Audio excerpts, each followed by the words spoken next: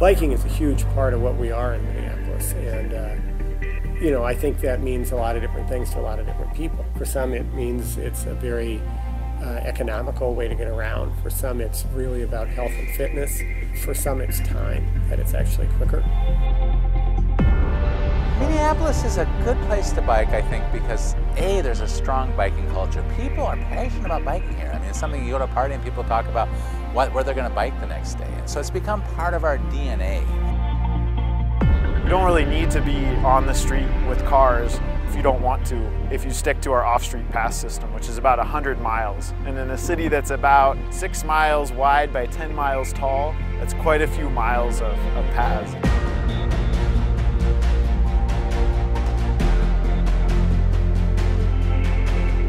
So they go around uh, all of our lakes, they go along the Mississippi River, they go along our creek, they go along our parkways, and then they also cut through our old railroad corridors. So one of the exciting uh, developments in Minneapolis, of course, is the Midtown Greenway corridor, which is an old industrial railroad trench that was cut straight right through the center of Minneapolis on an east-west axis. And the industrial use became obsolete in the last couple of decades. Which a train came down maybe every two or three weeks just to pick up grain, and it wasn't being used for anything else.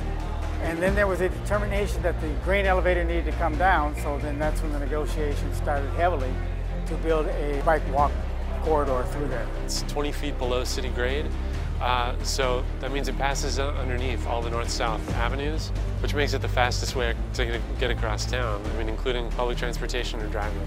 The numbers of people who have ridden on it and walk on it and rollerblade on it has just grown steadily for, for the many years it's been open. So it's just been a real asset to the city. You will see uh, families on the trail, you will see grandparents on the trail, you'll see kind of lots of urban hipsters on the trail, everyone in between, commuters, um, it's for everyone. You see I think nearly as many women as men. That's a big difference. When biking began to take off in the city, you began to see just a lot more females out on bikes. And I think just simply because they feel safer, there's a lot of bikers on the street.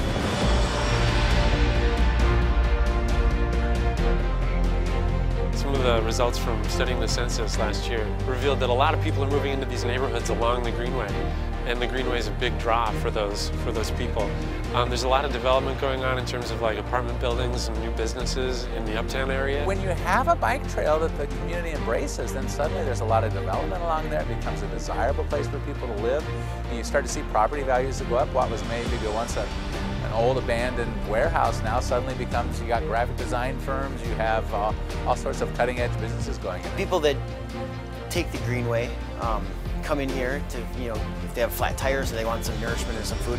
And then along the Greenway, there's all these ramps. And the ramps provide uh, people opportunities to, to get off of the streets up top, but also to go and, and use businesses in uptown uh, along the corridor. There's been a resurgence in, in, in, the quality of life in these neighborhoods, and I think it direct, directly related to the creation of the Greenway. This is a city where people want to get out, you want to take advantage of the seasons, and we have great bike paths throughout. So people are out, but our leaders are out too. You, I see Mayor Rybak, the mayor of Minneapolis, on his bike, cruising down the city, Mayor Coleman as well. And we have legislative leaders who are also real champions for the whole idea that you need to have city streets that allow pedestrians, bikes, as well as other forms of transportation. I have to say in the last few years it has been just uh, a transformative.